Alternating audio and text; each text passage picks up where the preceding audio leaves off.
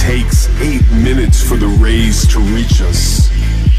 All the plants, animals, and humankind would not exist without the light of the sun. Look, it won't be here forever. It's a fact that we are living in a small moment of galactic time.